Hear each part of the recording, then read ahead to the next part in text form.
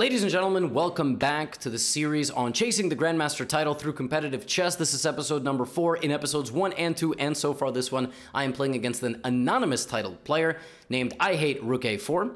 Uh, every time we play a game with white and a game with black, and then I analyze, and episode three was me puzzle solving. So appreciate your support thus far. I've got nothing else to say. Here we go. Uh, by the way, this says half-half up here uh, because we actually just drew a game. because I started it with the wrong time format, so disregard the half pointers. Last time we practiced the Caro-Kann, I played the move c5. This time I'm going to go bishop f5. Now, I believe my opponent likes to play h4, and I've got us a little surprise prepared there. Um, but, uh, okay, plays knight c3. Very interesting. So, looks like he is surprising me first. He is looking for knight c3 and g4. Aha, okay. I'm going to go with... Um, I don't have any surprises myself in these lines, I don't think. So I'm going to go e6. And basically what white likes to do here is play g4, h4, knight e2. So I'm going to go here. Now, knight e2 is the best move because if you play h4, I will just go h5. Now, I don't remember the best move here. Uh, there is some modern theory to this position, uh, but I believe the best move here is c5. Just immediately going uh, for an attack in the center of the board uh, anticipating uh, h4 to be met with h5, knight f4, and bishop back to h7. Although, I do know some GMs play like h6 here sometimes. In some of these positions, I'm going to go with what I know. I, I, I don't really want to reinvent the wheel. Um, I don't even think that's the right term there. Uh, and now bishop to h7. Now, my opponent could go g5. That is a move that I could see. Ah, Look at that. Ah, I knew. So this move I've seen in Blitz. I've seen it in Blitz chess, and I don't know much about it. Um, it doesn't look like it's supposed to make any sense. That's what I'll say about it. Because you've just put all four pawns here, but g6 is a possibility. So the first thing that I think about, if what if I just stubbornly move outside of the pawn chain because I know you want to go g6. I don't actually know what the best move is. Pawn takes d4 is an idea. Knight to c6, pressuring that is an idea. um, also, this is hanging. So I gotta I gotta figure out what's going on here. Queen h5. cd4 is very forcing. Knight c6. I want to go with what I think is the most solid option. I don't know if this is the best move. What I do know is that uh, I don't want to get my bishop logged back. I don't actually have any idea what the theory is, which is good. This is why we do the training games. Uh, clearly, my opponent is, is well familiar. That's why he's blitzing out some moves. Now, I'm thinking to go g6 so that my opponent can never go g6 himself. That might take him totally out of his comfort zone. Now, there's also moves like d4, which attack the knight. Uh, knight d7 puts pressure on both pawns. Knight e7 to go knight g6 is another idea. I'm just going to go g6, and hopefully now I've taken him out of what he knows. And if I haven't, then that's a problem. Now we have to play. So the good thing for me, everything is split and white is pretty overextended. Um, the bad thing for me, I'm down a pawn for a very brief moment. I want to take back on c5, but I, I could come under some fire. Uh, if my opponent maybe goes b4 or something like that. Um, and now we will... Sorry, I'm, I'm playing around with other tabs, actually. I started this training game the second I already launched the YouTube video. So, I've been on the grind. Um,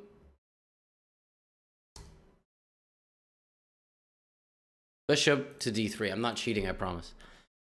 Okay, bishop d3. Uh, so, the thing about my opponent having five pawns over here on dark squares means the light squares are really juicy. Now, if I take on d3, then I think my opponent wants to move the knight back and stabilize their center.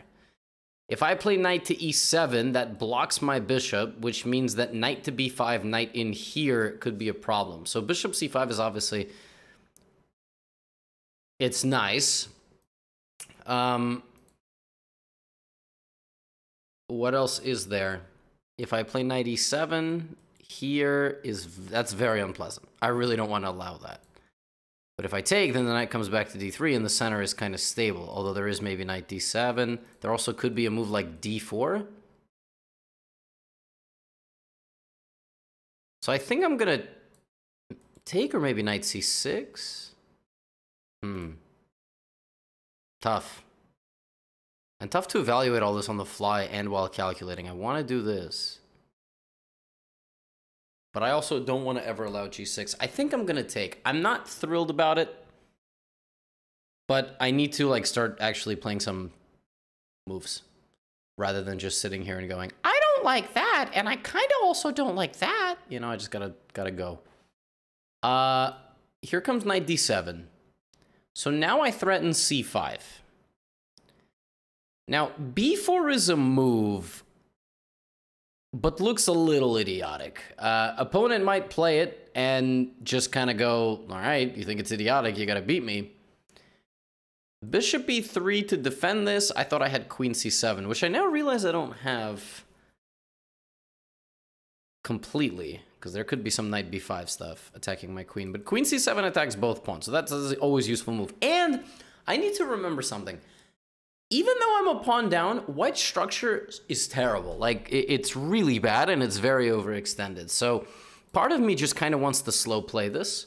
Like, maybe go knight e7, knight f5, and just go try to get the bishop and damage the structure. Knight e7 here, there is check on a5, so the knight would be forced back.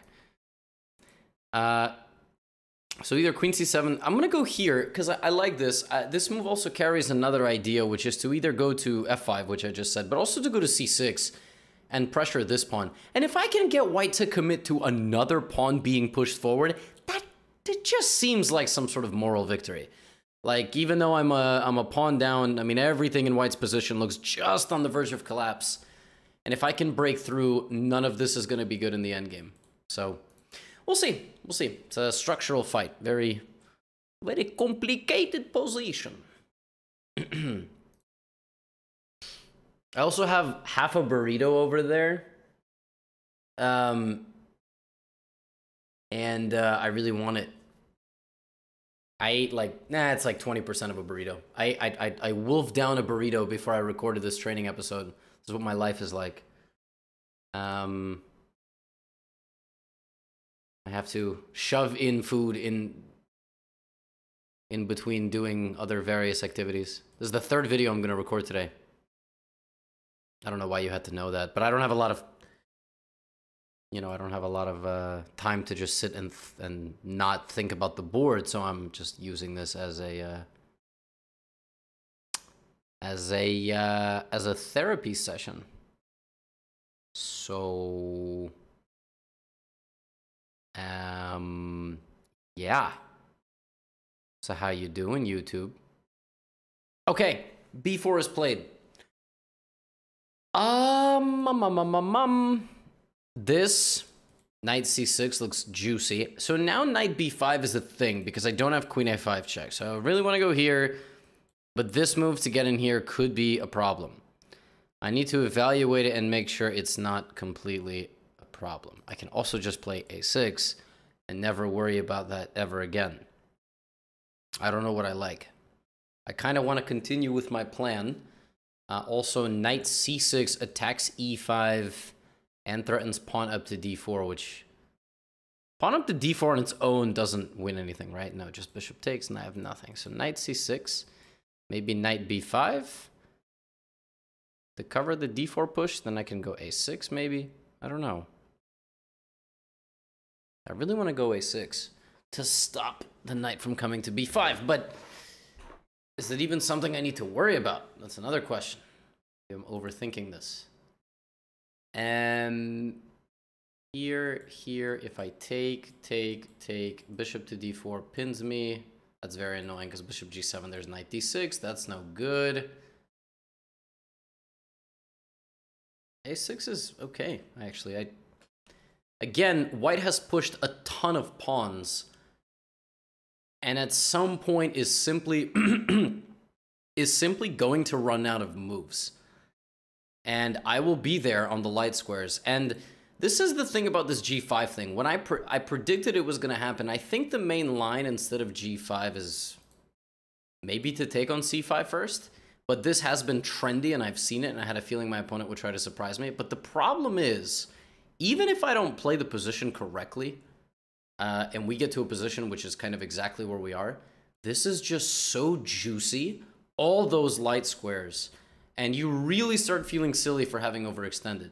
So Anyway, we have a minute difference on the clock, and it's really tough to find a plan here for white. It's also kind of tough to find a plan here for black, but I think my position plays a bit easier. I can just kind of plot my pieces out here. I've really dealt with this knight infiltration, so now I can focus on next phase of the game. And my opponent could, yeah, yeah, see, my opponent just kind of goes all in and is not backing down. We're gonna have we're gonna have a game where I'm gonna try to break out, and my opponent is gonna try to suppress my movement. So I'm thinking knight f5. I mean, this move just looks unbelievably natural. Queen e2 blunders knight g3, which would be uh, and d4. So yeah, I think bishop f2 is basically forced. Now d4 into just knight here. That doesn't. I don't win anything like that. Uh, I could consider an a5 move at some point. I'm thinking I'm for now just going to put my bishop on e7. My king is very safe if I castle, and it's probably going to happen that the opponent will play knight e2 and try to trade my knight. I'm ready for that. I got to figure something out here. Maybe I can reroute to c6. Like if my knight can get here, it actually pressures stuff. On d7, now that everything is protected by a pawn, it doesn't really pressure anything. And I'm always looking at a5. Like that is going to be such a useful move for me to deal a blow to that pawn. Of course, a3 is coming, but I also have b6. So that's that's a little bit about this game. Maybe queen c7, queen c6, lining up on the diagonal and trying to go d4. There's knight e2. Um, b6 now. Takes, knight takes, b6, c6, knight back, attacks the pawn. And I think I win it. I don't see any way for my opponent to to deal with that. I'm going to go b6. The second that the opponent goes back, the second they make a backwards move and kind of tie their shoes together, here we are now we are threatening to take on c5 give a check at some point in the future or you know even even just leaving the doubled c pawns there to be taken in the future and of course i am more than welcome i'm more than welcoming another knight infiltration because the opponent is overextended uh, so b6 looks really, really nice. And soon I will also overtake on the clock, I think. This knight will be swapped. I'm not too worried. I might even go and take whatever. Because otherwise they'll take me and I'll have to damage my, my pawns. Now, I could damage my pawns, put them up like this, and then move my knight this way and reroute it. It's a very common idea. Like, put it on the square where the pawn was. So my pawn goes here, and then I move my knight to e6. But that looks a little dumb. You know what I mean? That, that, that does not look particularly convincing. So opponent takes. I don't. I can't take on b4. I'm going to take on b6. And uh, that's a little soft. So for example, knight d4, knight c6. But I got to tell you, if this knight jumps all the way in and just takes my bishop, I don't really think... I mean, it's I'd rather probably trade knights, but uh, I'm not going to lose sleep. I'm still down a pawn, though. Like, if the opponent just finds a way to stabilize everything and not blunder, I, I'm still a pawn down. I'm going to have to use my, my final pawn here to chip away. I'll probably have to castle at some point, so my king is out of the middle. Okay, so naturally I want to take. Do I have anything else? Why wouldn't I take? I can play knight into c4. I can also play a5, but then there's knight c6. Gets me thinking I should put my queen somewhere that covers that, like queen c7, but then knight f5. Have I improved my position? I don't think so. I'm going to take. Now I do need to worry about this move every now and then, uh, but it seems okay. It seems okay. So, what do we want? Do we want a5 this very second? Not want a5 this very second. Also throw in knight c4 and then go to a5. I'm going to deal with my weakness. I'm going to deal with my weakness. If pawn takes, I can take with the rook, or I can actually still jump into c4 because this pawn is so terrible and not do anything. So I'm still going to be a pawn down, but the opponent is quite overextended with the pawns on the king side. And those pawns could be endgame liabilities. Very messy position. I actually think that white is sort of okay, though. Position looks good, but it, it's far from over, and it's there's still a big fight ahead. But I'm, I'm going to try to solve my problems right away by playing a5. Could have maybe gone knight c4, don't know. But this is how we're going to solve it.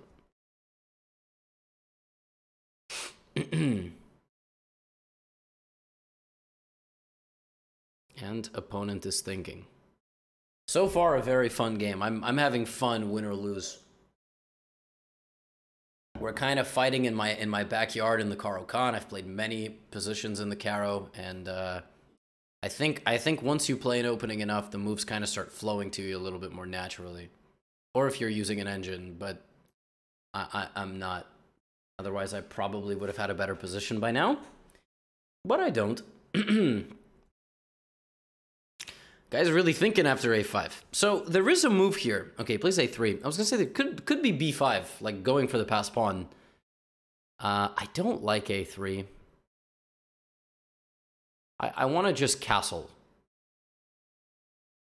Just castle the king. I think that's what I'm gonna do. It's a very simple move. I don't need to think about it at all. I'm gonna castle, and the ball is back in my opponent's court as his time takes under three minutes. And the position hasn't changed much at all. He pushed the pawn and I castled. And I'm castling because my king is safe here. The only time I need to worry is if this pawn ever gets to f5 and do I take and open up this or do I take and open up that? There's c3. I actually mentioned this kind of approach.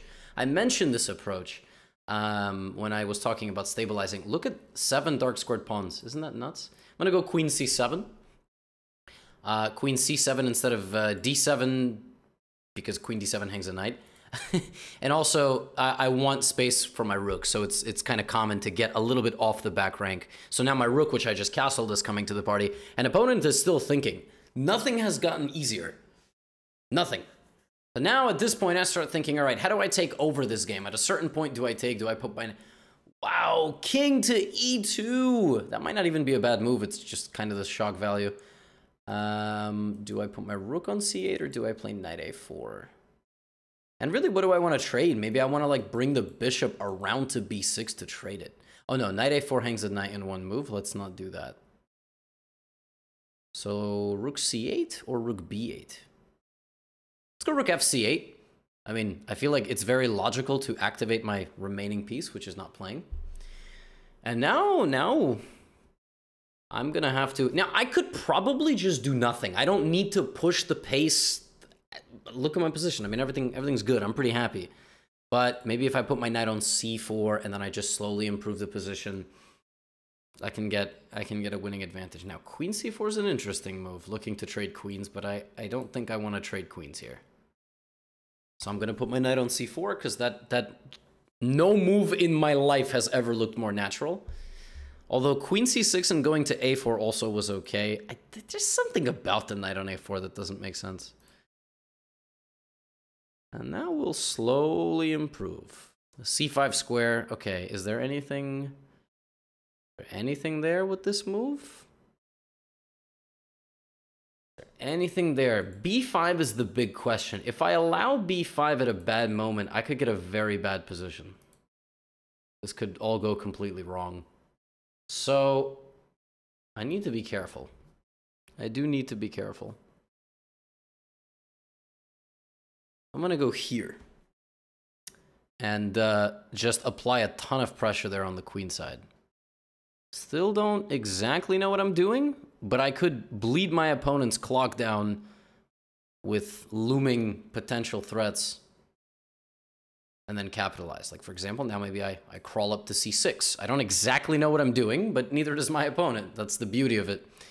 And then maybe I'll play queen a6 and line up something over here. That, that actually is something I like very much. I like this queen a6 idea. Oh, so the opponent is really trying to go for b5. Okay, well now I probably should take. Maybe I shouldn't. Maybe taking is exactly what the opponent wants? that loses a bit of stability. Take, take. I have take, take, knight b6, b5, queen c4. I'm going to go for it. I think if I trade the bishop for the knight, that's massive progress. The pawns are very scary. The way my opponent has now kind of turned this around on me looks mildly annoying. That is hanging, though. I am attacking that. And I want to go queen c4. Is king e3 a thing there? That is so ridiculous if actually b5 here and king e3. No, a4 is hanging. No, no, b5 queen c4 is a problem, yeah. Wow, takes. Wow. Okay. Here I go. I'm going right there. That was always the plan. I don't know. I don't know what's happening. If the knight moves, b4 hangs. Now, knight c5 is a thing. There, could go knight c5 and just try to trade into an endgame. I don't know. That looks pretty terrifying with your open king, which again is a is a, is a problem of having moved all your pawns out like that. So I'm I'm just saying, you know, now now that I'm kind of threatening to get in here to d4, and I have look at my time advantage. Oh, it's the problem. I'm starting to buy into the hype of my own position. That's like when things go wrong. Um, queen d4. Queen b5 also was interesting. But this is my plan. Maybe queen e4, b5. The fact that this is possible is nauseating. Uh, check. Here.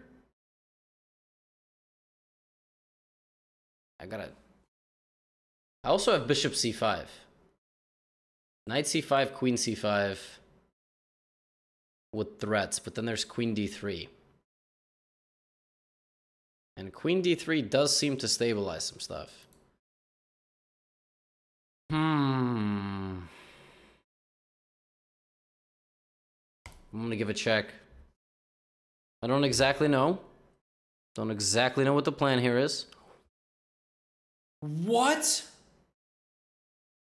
No way. No. No way. No way. Surely this doesn't. I am I am in shock. what? Okay. I, I I'm actually like I might lose just because King D2 was played. I, I'm I'm rattled to the core. I have no idea. I was not expecting that move at all. Wow.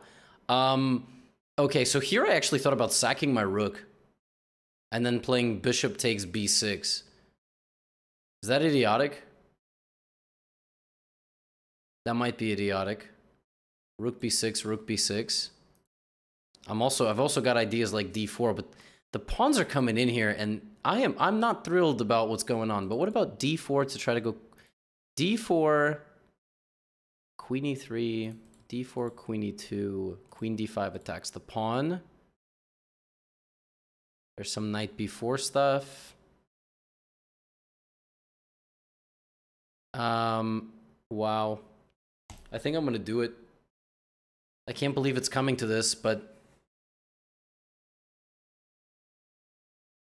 Here comes bishop b6. Now I've got bishop e3 ideas, queen e3 ideas. The rook is hanging, obviously. Now, rook b6, rook b6, rook a8, king g7. That was my very quick calculation, that my king is still safe. Opponent decides to do it. I figured that my opponent would.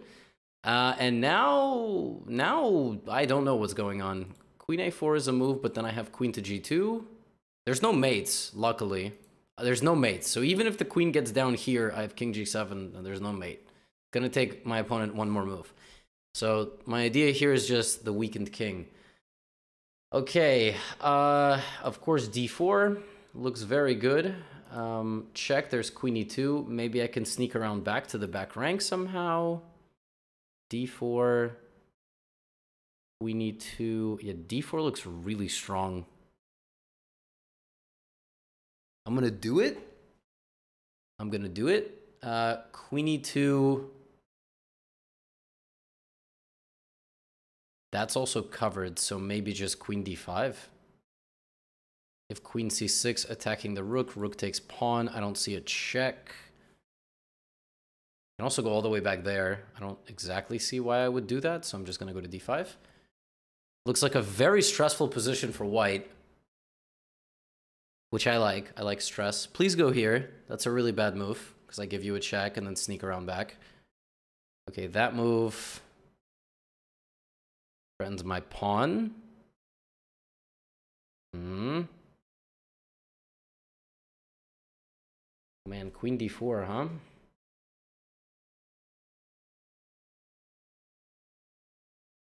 Hmm. Oh, man. Oh, man. I gotta make a move. Okay, I'm just gonna go down to H1. I don't know. I really thought I figured something out. Looks like I might have been mistaken. Here I go down to B1. I mean, it. I, I don't know what's happening, folks. We're both all in. I mean, I'm going to D1. There's a check down here, King H7, and that's it. oh my gosh, I have no idea what is happening. Not a clue.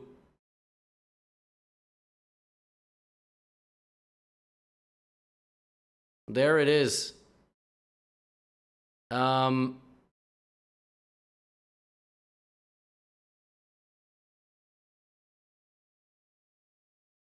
okay. Uh, Queen G2, King C3, Queen C6. There's a check if the king runs out this way. He runs out that way.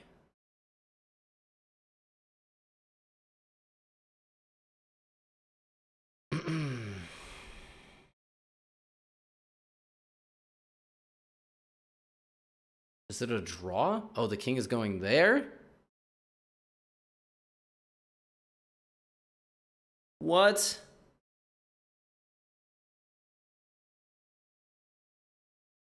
That's nuts. I let him escape. Wow. That is so brutal. That is so brutal. Yeah, I guess it's just losing. It's losing. The king escapes. All right, folks. Uh, it's time to analyze some games. We're going to begin with the first one here. Uh, I'm actually recording this like a day later because I played those games and uh, I was actually very tired afterward. So I had to eat dinner. Um, different day, different shirt. Uh, different day, different shirt. That sounds like a good good motto. Okay, so game number one. Um, the way you study this kind of stuff, uh, as I was saying during the game, is you need to review your openings. So everything up until this point is considered normal. I was actually shocked to find out that even though c5 is a massive main line, which is what I played in this game, nowadays there is so much theory here. Like the players are playing 97, 97, waiting moves, not not going here. A lot of players been playing f6, anticipating a move like knight f4 um, with even pawn takes e5, or like bishop coming back to f7. It's like really, there's a lot, lot of stuff here. Really interesting stuff. Uh, now, the way we played it, c5, uh, h4, h5, knight f4, all the way here. In this position, I'm quite familiar with knight takes h5. Uh, and there is a uh, line here which goes knight c6, dc, I think. And in this position, there's like a line where you can play um, 97. There's like a there's like a 97 somewhere here. Maybe this is not the exact move order, but white can play bishop h6.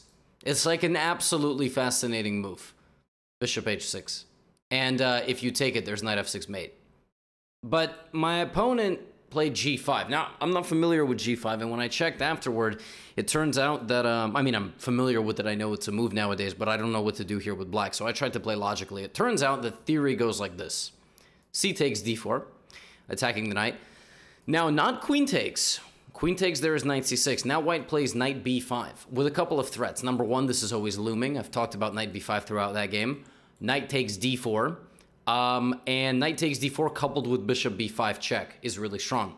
So here, what black does is play bishop e4 to attack the rook, baiting this move f3. This is very common to bait that move to cut off the queen and also weaken the king a little bit. Now this, this, and knight e7. And here black is known to be completely fine. But, okay, I didn't do that. Instead, I played bishop to f5. And I tried to play this game in a way that was practical, like just, you know, maybe not the best, but practical. And it turns out that my opponent should play this like fully committed to the pawns, like play b4. Don't let me get anything I want. If I play a move like a5 looking to break out, it's not going to work because after knight b5, if I play a takes b4, he gives me the, the pawn and jumps in with the knight. And this is just, this is very bad for black, borderline losing because what ends up happening is is the pawns go to a place that I can no longer fight them. These pawns completely box in my knight, which blocks in my rook, and I'm completely lost here. I, I, there's, no, there's nothing I can do. I'm going to slowly suffer and then probably lose. So b4 had oh, I backed up way too much. b4 had to be played. This uh, allowed me to go after my opponent's bishop. Now, the reason I didn't rush my play here with knight f5 is because I didn't actually think I was threatening to take this. Like, I thought that perhaps my opponent could just, I don't know, do anything here. Uh, or knight b5, for example. But the computer really likes knight takes, f takes, and I thought this position was just bad for me. Um, and I'm not completely wrong. I just missed something here. I miss like that in this position, it looks like this is coming. I miss that I can take on c5. And if knight takes, I take. If pawn takes, I have queen a5 check. So I'm going to win back this knight. So this is like the one thing. It's always important to keep in mind this side queen check that can hit the king and the knight. Um, yeah, I completely missed that. But okay, it's life. Uh, a6, stopping knight b5, and now f4. Now white is better. Now white is definitely better here because white is just a pawn up. I mean, at the end of the day, that's really what matters, right? So I played bishop e7. Computer actually doesn't think I should go bishop e7. It thinks I should go b6 right away. I sort of was lamenting not playing this move during the game faster. I played it here, but here there's a major difference. Uh, the major difference being that white gets the knight to d4 just in time for my counterplay. Whereas if I had played the move b6, it really fundamentally doesn't matter where this bishop is because it's doing the exact same job. And for example, cb6, knight b6, this knight is just stupid. This is just the stupid knight. It's just not doing anything. And now if white tries to go back and go here, I mean, that's actually probably the best thing to do, by the way, then at least I can maybe even play d4. Like, I'm in time now to occupy the square. And then maybe queen d5 attacks the rook, then rook d8, maybe then maybe a5. The problem is I waited with bishop, like bishop e7 doesn't do anything. I, my bishop serves the same role, and one move kind of allowed my opponent to consolidate. And then it was a very complex game. Like from here on out, uh, white is just better. And I and I kind of was mentioning as the game progressed that once my opponent consolidated, they would probably have the advantage. Uh, and he did. Um, and I finally came up with this idea to put my queen on a6. Uh, the problem is I completely ended up overlooking this move a4. I don't know why this move completely escaped me, because this is obviously the only way white can make progress, but we were also making moves pretty quickly. It's actually why the computer wants me to take on b4. And after a4, a4, my opponent only has one pawn that can march down the board, not two. And I kind of have that pawn pretty well blockaded, and the machine just evaluates that there's a, a, a quagmire here, if you will. Mutual stalemate, nobody can really make any progress.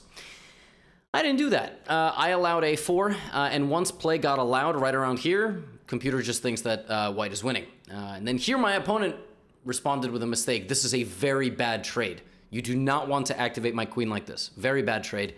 Uh, help allowing my queen to go here and then playing b5. Just kind of all in with the pawns. However, when I gave this check, I knew well that king f2 was the best move and I was just sort of hoping to figure something out. And I predicted that when king d2 happened, I would be very scared. And I was right. King d2 is not a good move. It's now minus 1.8, but only because I have one way to play this position for a win, and it's to cut off the c file with rook c8. The reason I didn't go for rook c8 is I didn't really understand what my next move was. I mean, I, I bishop b4 is impossible. And for example, if I play d4 to try to play queen e3, like just a queen move, I didn't really see what the plan was. Well, what I missed is that after b6, the idea of rook c8 is to give this check over here.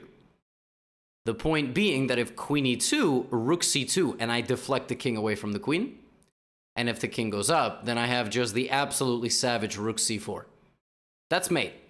And it's almost impossible to prevent. It's forced mate in this position. Rook c8 I did not see. And bishop d8 I thought, you know, with our both mutual time, okay, I'm going to create an attack on the king. Here the engine is an absolute scumbag and finds rook c5, which is just disgusting. And white keeps the full rook. I can't take because I would hang this. So there's nothing I can do. I'm I mean, this is just, it cuts off e3. I'm just dead lost. But okay, I didn't see that. My opponent didn't see that. Instead, sacrificing. And this is, um, this is winning for white. This is winning for white. What, what I thought was like a low time effort to create some play, this is completely lost. Totally lost position. The knight completely covers the checks, and as you saw from my expression, absolutely devastating uh, to lose in this fashion. Now, my biggest mistake was definitely allowing a4 and b5. Uh, if I had not allowed a4 and b5, actually, would have been just a pretty complex game that most likely would have ended with something like this and just impossible for white to break through. Nice little shot there, good resource by my opponent to find this a4 idea, uh, and not finding rook c8, of course, when king d2 was played. Uh, but low time will do that. I mean, I really a game like this is uh, is a fun one. I mean, it, you can't feel too bad for losing, and uh, now I know what to do against g5 for all my future games. So, on to game two. Okay, it is time for the second game. Uh, I told my opponent that I would be playing d4 uh, and c4. And opponent is playing e6. I think I'll go with knight f3. I think opponent either plays b6 or d5 here. I think his main line is d5, so there it is. And I've got a couple of ideas for what I want to go about I was debating a couple of openings, but I think I'm going to go with the traditional knight c3, and I think he plays the semi-Slav. I think he has nothing else in his repertoire. Uh, that's not to insult his openings. Uh, that's just reality. And now I'm going to go with g3. This is one of my favorites against the semi-Slav defense. He takes on c4. Uh, and now I will play bishop to g2. You also in these positions can play knight e5 and try to win this pawn back immediate, immediately, but I like to delay. Here black has two choices. One is knight d7 preventing knight e5, and one is b5, which is the main line. And these positions are a little bit tricky to play with black. You have really a massive lack of space. White dominates the center. White can oftentimes open up this bishop. White can castle. Uh, and there's b5. Now I need to remember, I think 95 is, is my line here. Uh, because you need to attack the weakened c6 pawn. And there's three lines here. There's a6, there's queen b6, and then there's bishop to b7. I think he'll play a6. I think. I think that's probably going to be his move. Or queen b6. I don't think he'll go bishop b7. Actually, can you go? Can you even go bishop b7? Because knight b5. If takes, I take the bishop. I don't know. We'll see. I do know that for a fact, like, I faced queen b6 before. And um, I've also played against the a6. There's also maybe knight d5. Knight d5 might be the move. That, that might be what I'm thinking about. Knight d5. To get in the way of the bishop and then play is pretty dynamic and interesting. But I really like these positions because, you know, black just kind of takes up the challenge. You get a bishop. Opponent is deep in thought. So last game, I kind of surprised my opponent. And this game, uh, reverse. Last game, my opponent kind of surprised me. And this game, I am, you know, returning the favor.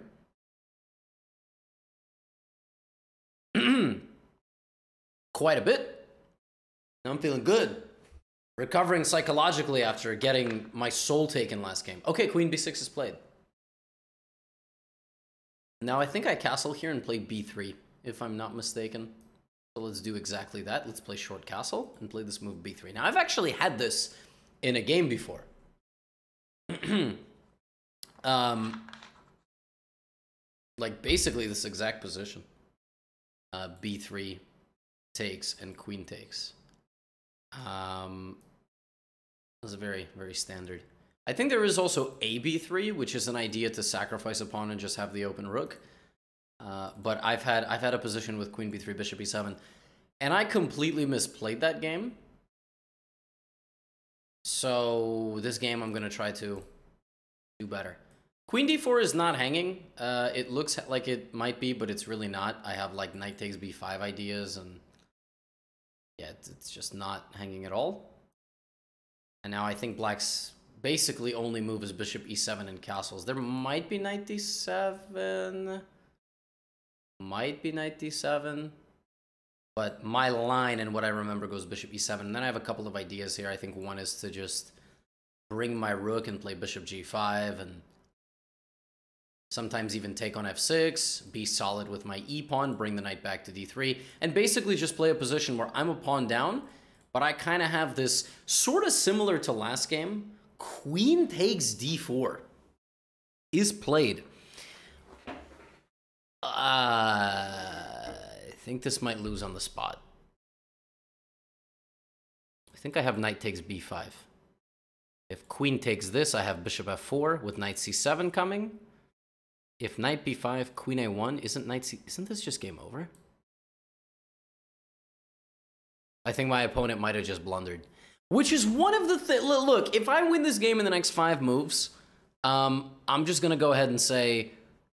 This is why you probably shouldn't rush in a position where you don't know your opponent's preparation. Uh, you don't know what potential land, you know, landmines you might be walking through.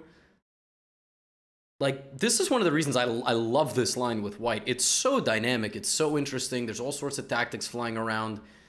And uh, queen e5, bishop f4 to get into c7 is a problem. If queen takes knight, that bishop is completely unstable. And a8 is just hanging. But I do need to be precise because the queen can still go back. Oh, but if the queen goes back, I have bishop e3 and I just I, I, I win tempo. And if you're watching this and you're like, why is he not mentioning this move? Well, then I would go knight c7.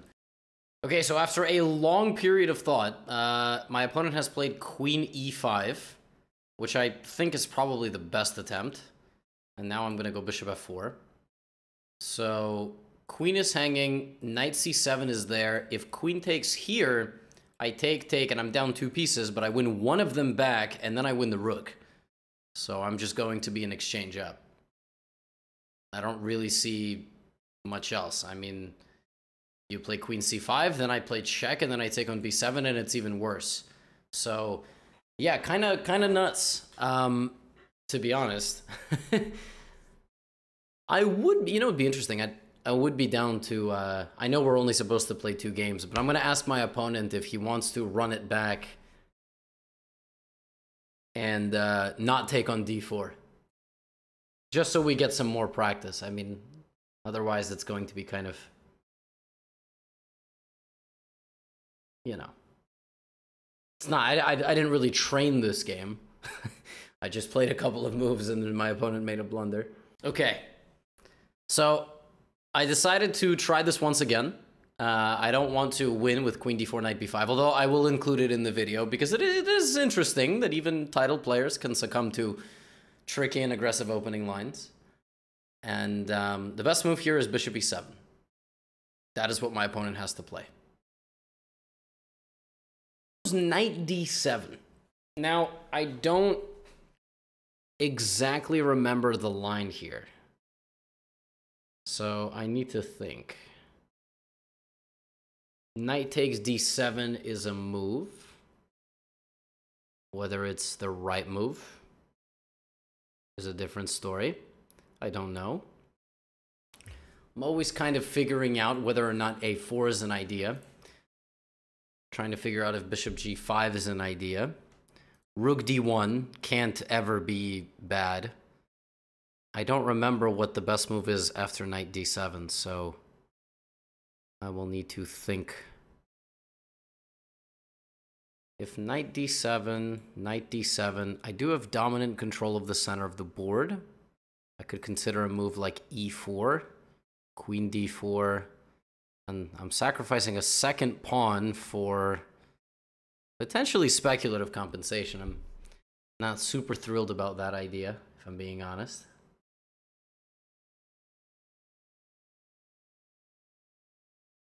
I do like rook d1.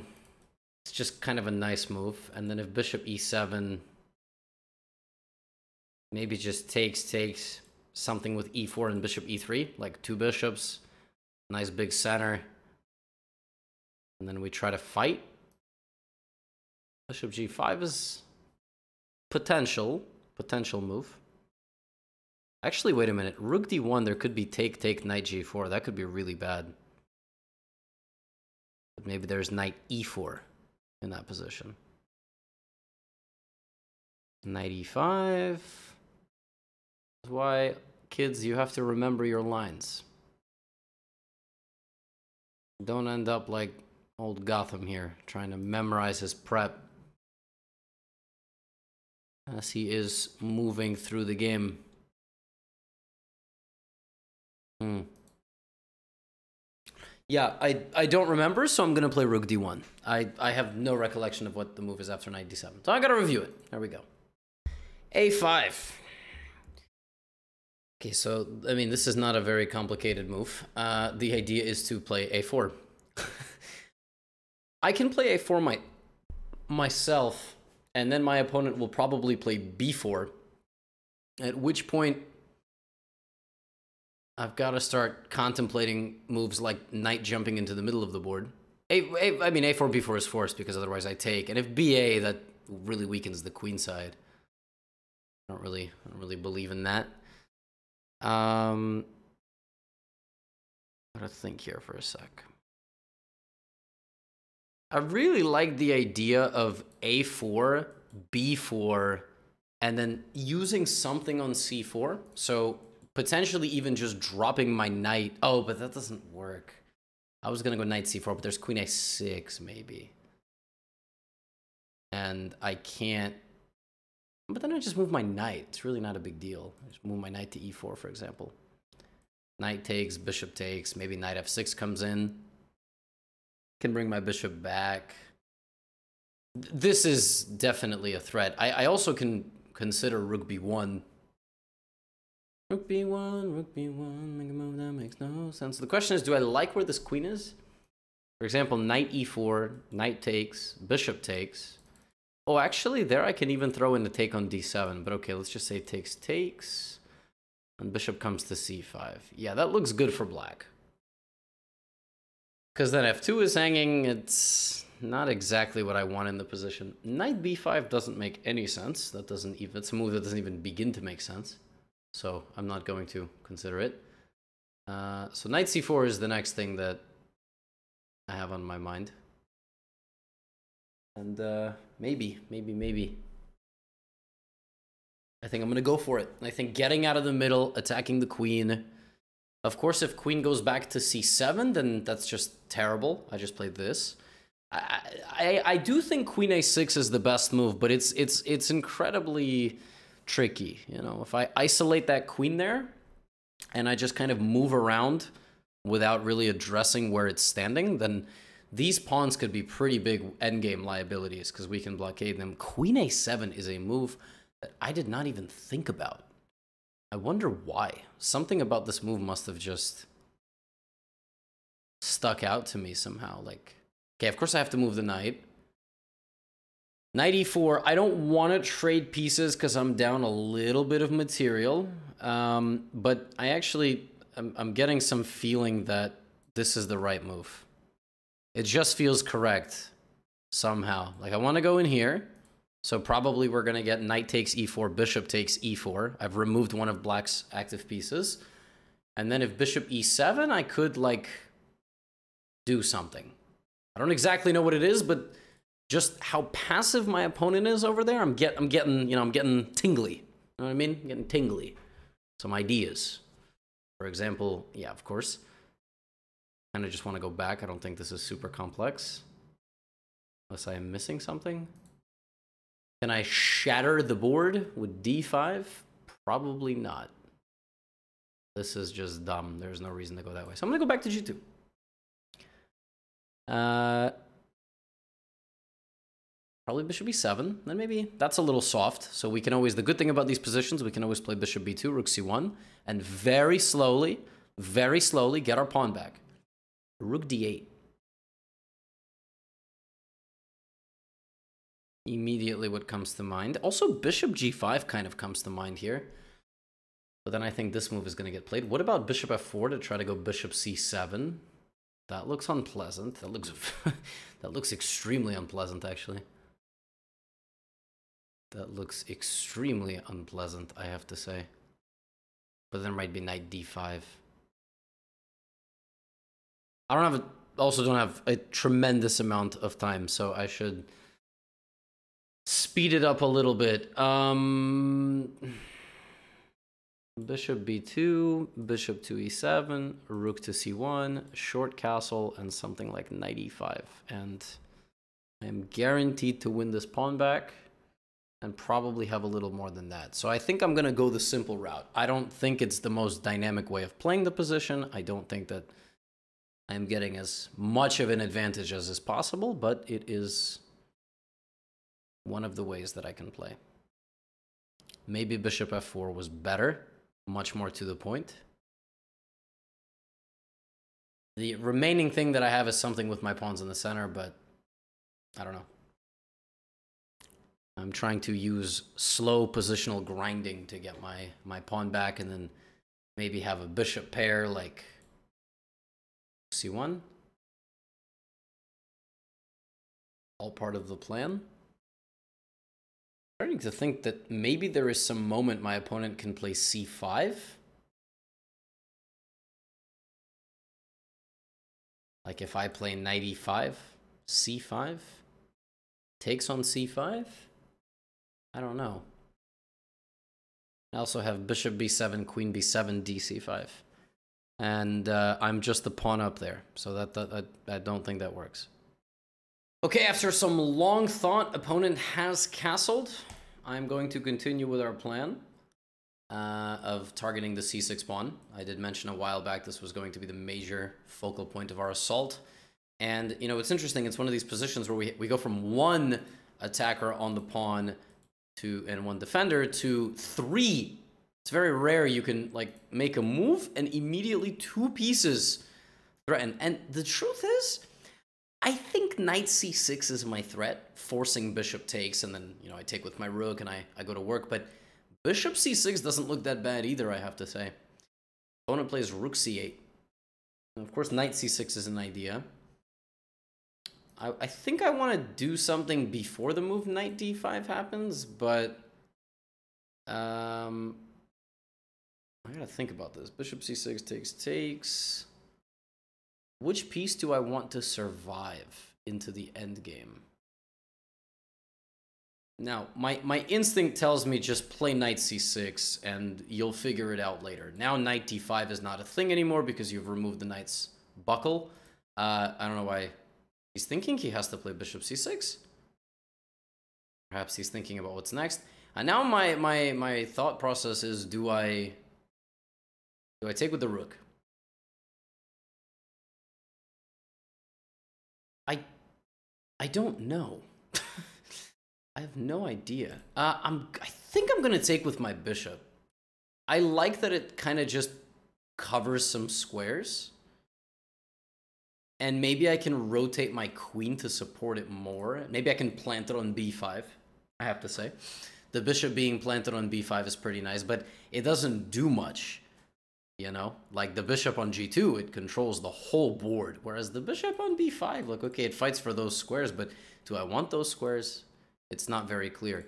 I like that my opponent can't move. So as much as my opponent is probably feeling negative about this position, little do they know, I also don't know what to do next. Do I trade one rook? Do I trade both rooks? I'm leaning toward trading both rooks if we trade queens and rooks, the way I would play this is to advance as much in the center as I can, bring my king over to b5 and win the game. I actually think this endgame is pretty trivial to play with white. The problem is how and when exactly do I make the trades? That's the question. I'm not very good at endgames. I, I rush things too much. So Maybe now I can just bring it back, you know, or to f3. I'm going to go back to f3. Offering the trade of rooks on my terms. So, you know, we, we can swap rooks, but it'll be the way I want to swap rooks. I'm not going to have a bishop over on c6 as a target. Now, I think my opponent will probably bring pieces to the middle. Like knight d5 is just an easy pawn blunder. I take and I take. I would imagine that he wants the bishop on f6. And I think my next plan is maybe I should have gone rook c4. Maybe that's what I should have done. Maybe I should try to dominate the c file. So rook c4, double up on the c file, trade rooks on my own terms. I'll control the only open file on the board, and then I need to figure out what to do with the dark squared bishop. If I can play e3 and at the same time the bishop is over there and my bishop's laser beam the diagonal, that could be good. That's an interesting move. That stops rook c4. So again, slow playing this position is an option. Um, 4, which I really didn't want to do. Yeah, queen d7 is a very strong move.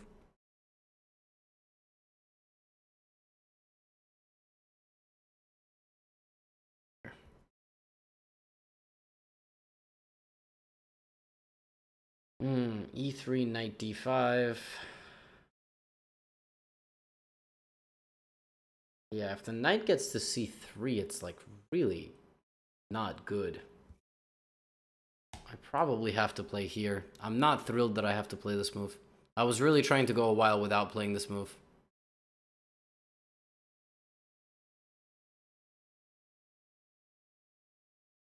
Okay, takes, takes. Rook c8 the idea. Rook c8 is the idea. But I think the problem with this is that I can take and play e5. Unless I'm stupid, which could be the case. But I think that now that knight d5 is no longer playable, I think I can get away with this. It's not so clear who wants the rook trades in this endgame. Oh, my opponent has disconnected. Never mind. For example, knight d7, d5. Looks like I have a pretty strong initiative here. But yeah, I think I, am I'm, I'm pretty sure allowing queen d7 was bad.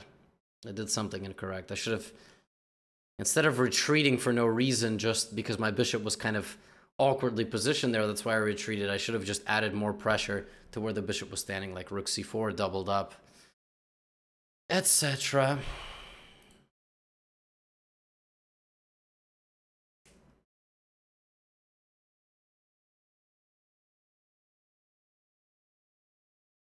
There it is. Um, I'm thinking d5. Threat is, of course, to take, and also to play d6. I mean, if I get to play d6, I'm, I'm probably just doing very well. But yeah, de is, of course. If pawn takes, I will go with the bishop. f7 is very soft. Knight c5, I just go queen c4. And the pin here should be sufficient for very good play in this endgame with my activity. So the pressure is paying off with the bishop here. I think I think uh, I made an inaccuracy allowing him to play queen d7 and stabilizing, and he made an inaccuracy trading the rooks too quickly and letting me overwhelm him in the center. Also, he seems to have trouble with internet right now, which is good because I'm trying to win. Sorry. Okay. Um, bishop d4 is kind of dumb, right? Because knight d5. Okay, I'm gonna go d6. Uh, I think it only makes sense to play that move. I don't know why I would not. I don't know if queen c4 is an idea for my opponent here. It could be. It could be. It could be not so simple for me. I thought it was going to be easy once I got my pawn on d6, but looks like maybe I was incorrect. Bishop d4 is definitely a move I want to play. I think I'm going to do it. My king is always safe, which is nice. I can always throw some stupid h-pawn at my opponent, but that I, I don't know. That doesn't strike me as super convincing. And I think this this will yeah, so there's queen c4. Um queen e3 knight takes this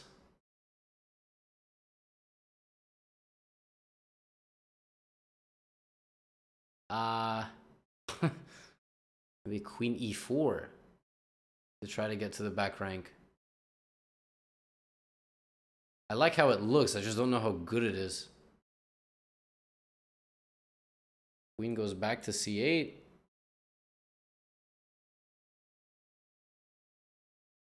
It looks like it should be so good. Of course, we can also trade queens. You know? Also trade queens. I don't want to trade queens. What about queen d1? b3? Bishop b2?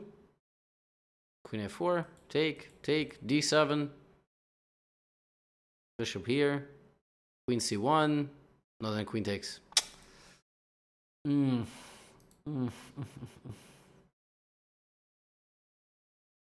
Yeah, I, I really want to play this move, but unfortunately, I have just simply no idea if it works or not. What a shame. Ay, ay, ay. I'm gonna spend all this time and end up doing something dumb.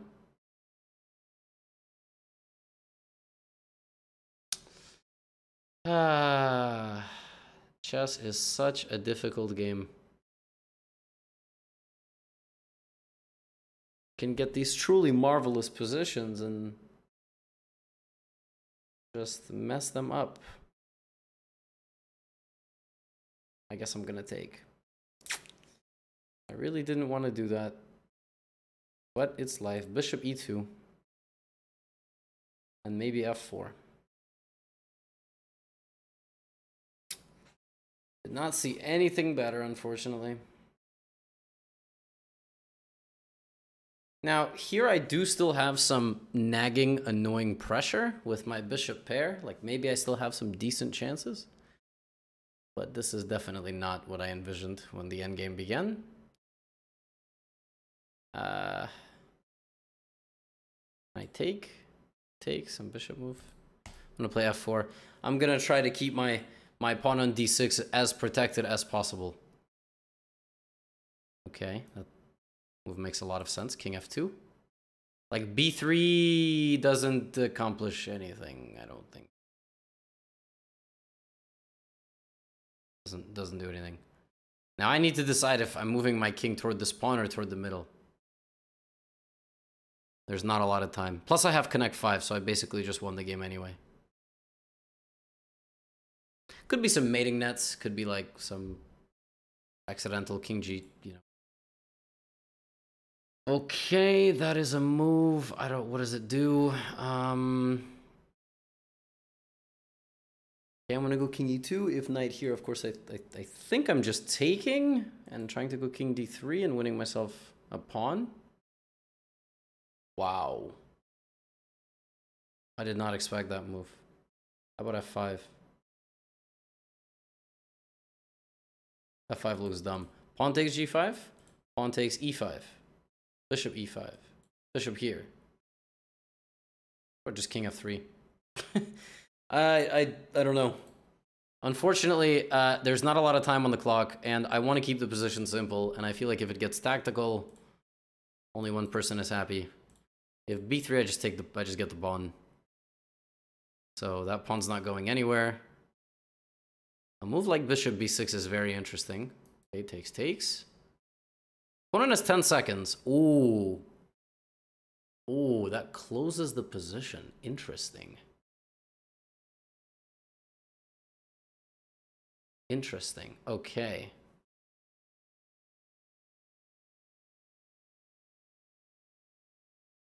Let's go bishop c4. I kind of want to take. We'll see, we'll see, we'll see. And now let's be patient. Bishop b3. Maybe I have a way to win this. Maybe I need to get my pawn to h5. Maybe that's how we're going to go about this. Um, king e3. Or can I just infiltrate with my king? Uh-huh.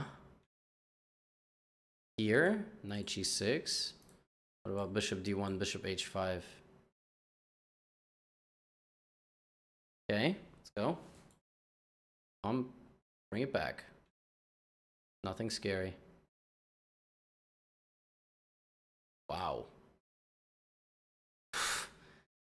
My opponent is brave. King c4. King b5. I don't I don't know if I'm winning or or what's going on here. I have no idea. Uh That looks like something, I guess. Somehow my opponent has a blockade on stuff, which is amazing. Let's go here. If h4, yeah, I'm going to go h3. So now there's no movement on that side. And then I have an idea to play king b7, and it's mate, which is absolutely brutal. That's just not very nice by me. That is checkmate in one move.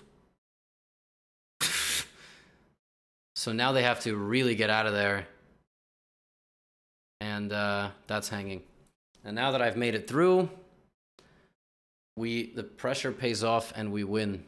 Okay, so that one, that one was a fascinating one. Uh, that was a uh, G3 semi-Slav, and uh, after Bishop G2, there's there's two ways for Black to play this. Like, first of all, there's actually two ways for Black to play this. Period. One is to take on C4, one is not. Some people just get the setup and they never take on C4.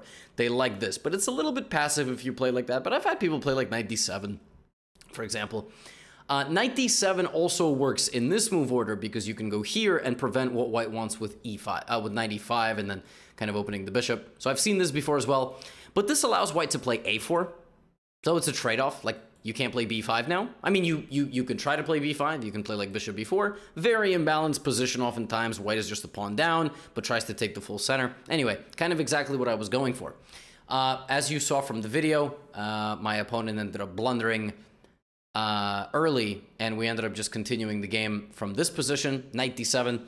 Uh, and the analysis actually during the game, you remember I was saying I don't know knight d7, it's not in my notes, etc. Uh, it's not in my notes for a reason. Turns out that here white is much better after bishop e3. Now that is not a move that I was going to find over the board. Uh, I don't even remember now analyzing it a day later if I looked at this move. And the idea of this move is just like if takes takes and white wins because of the queen and the knight hanging. And if white doesn't take, then uh, black doesn't take, then d5 is the threat. And it's really hard to move the queen. For example, if you move the queen back to its home square, you blunder c6 or b5. If you go to c7, uh, then I go here. And I, I, just keep following you. Or I play rook c1, and your, your queen just has nowhere to go. Which is why you have to play bishop e7. Because if I play bishop e3 now, d5 is a lot less powerful d5 is a lot less powerful, and knight to d5 just blocks all of that. Whereas you cannot do that after you play knight d7. You cannot go here because I take.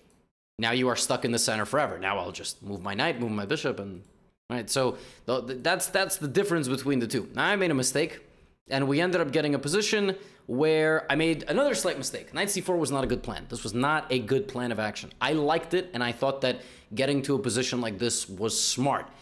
Well, it's not, and I'll show you why. It's actually better for me to, uh, in this position, not move my knight at all. Leave the queen where it is, put my knight to e4. This is what the computer likes. Here's why. Because if we get the same position that we kind of got in the game, like this position, the queen is not kicked out, but my knight is also very strong. My knight is pressuring important squares, and if black just plays like bishop e7, um, I can move my bishop, double up right away. Whereas if I put my knight on c4, I had to move it back to e5 anyway. You see, not much has changed. The key resource in all of these positions in the um, in the semi-Slav and kind of just period uh, is is whether or not black can play c5. Whether black can play c5 or not. In a lot of Caro-Kann positions as well. And it turns out that I mean I thought this move was just not possible. I thought opening the position like this before you're even you're a move away from even being a move away from castling doesn't make sense. I thought you just can't do this. I'll do something like this. Yeah, well of course the computer finds a way. Uh, it wants to take, give a check to move off the line of my bishop, and then if I play f3, the computer just goes all the way here and says I'm fine. Good luck. Bishop f6. Well of course I'm not gonna take and hang this. Yeah, gf6 doesn't matter. I'm fine. Don't know if this is that easy to do as a human. I'm not gonna lie. Uh, I thought that like something like this was actually pretty scary for black. No, computer's not fazed. I open my king. I'm still gonna castle. So, in a classical game, I would need to definitely uh, be a little bit careful here with moves like a4 for the future. Allowing this pawn to stand here very triumphantly is a little bit scary. Um, probably what I should have done is like develop my bishop, and then on b4 just been ready to go to a4, uh, or on a4 just been ready to come back, essentially. I should not have indulged with a4 because what ended up happening in the game is that my opponent never played c5. Because my opponent never played c5, it made c5 impossible. Just made c5 impossible. Rook c8. And psychologically, he was under pressure for some time. Um, I really regretted during the game just wasting a move here going back to f3. I should have made progress by doubling my rooks and defending the pawn. But actually, the computer always evaluates the position as equal. Uh, all the way down here, in fact, it still thinks the position is completely equal. And the move that we both thought gave me advantage was a blunder. So this move is a mistake because actually this move is possible. Crazy. If I take on d5, e takes d5, and go for this, queen c2, my bishop is trapped. My bishop's just completely trapped. Now here I have one way to force a draw. One way. Otherwise, I'm just in serious trouble. That's not made, of course. One way to force a draw, e6. It's the only way. Right? ef7, queen a8, all these different ideas. For example, if queen takes b2 here, now this is winning because I have e7. That's how I would win here, but that's not going to happen. Uh, yeah, we both just basically thought that after this, we I was better. And I and I and I kind of was. The way my opponent let me do this, I definitely got a very advantageous endgame. Uh, and it turns out that the way I played this to kind of get this to, to, this bind, you have to team up your bishops with your pawns. This bind is very good for white, uh, truly. And during the game, I wasn't super confident that I would be able to win this during time trouble. I also should have 100% shut down my opponent's play here with h4. That way, the move g5, trying to break everything apart, just doesn't work because of takes, takes, and f5. And the idea of f5 is not to come here, not to do this. No, you don't want this. Um, although this is apparently also winning with some absurd computer idea. Uh, but uh, which I'll just show you is g4. Because after pawn takes g4, black has no more moves. black is completely out of moves. Like, black cannot move the bishop. Oh my god, that is actually insane. Like, look, here, black is actually completely... That is nuts. Look at that position. Black can't move anything. Computers are just absolute pieces of trash. I mean, look at that. Disgusting. H4 I take, wow. But basically, the way that this endgame ended up happening is my opponent just sort of ran out of things to do. Like, he kind of dug his own grave a little bit in the time trouble, and the computer thinks that like you can you can kind of hold on here, but it was always going to be really difficult. And I found this nice idea to activate my king. This this idea basically wins the game. To activate the king, uh, make sure there's no counterplay, shut down the whole side over there, and then we we we found this really nice king a6 and king b7. That's checkmate.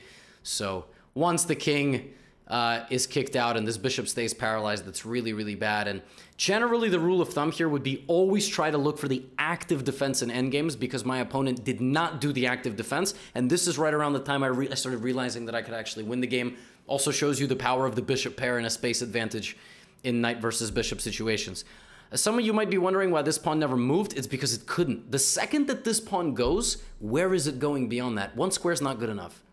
Just because you can take the next step, one make a one move attack, doesn't mean it's good enough because this king's just going to come right over. So the pawn is actually much safer on b4, being a permanent threat to move, but my opponent was never able to do it. Anyway, folks, I'm pretty sure this was a long video. I'm going to edit this all together and see how long it is. Once again, if you've made it this far, I appreciate your constant support in my journey. Uh, if uh, you ever want to support the cause, like for the tournaments or whatever it is, there's obviously donation links, but you could also get yourself a course on my website. Link is in the description. Or, or, or, or, you can always sign up for chess.com premium because all of the biggest streamers get uh, some commission on that. Actually, all streamers do. But uh, that's another way that you can you can support any uh, one of us that you like. Take care. I'll see you in episode five. Get out of here.